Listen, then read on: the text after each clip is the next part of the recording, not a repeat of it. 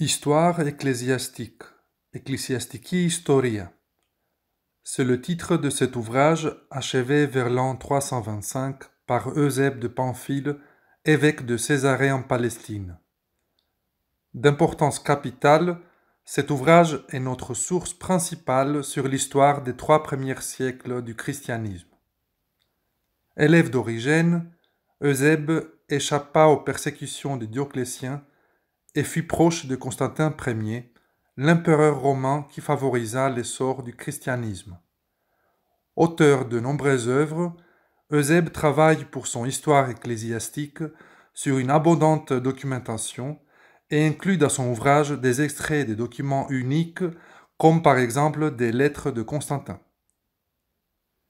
Ici, vous voyez la première édition de cet ouvrage imprimée en 1544 par Robert Etienne à Paris.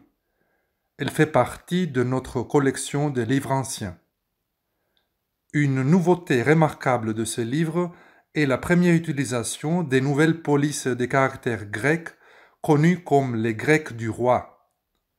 Elles ont été taillées et fondues par Claude Garamond pour Robert Etienne, l'imprimeur du roi François Ier.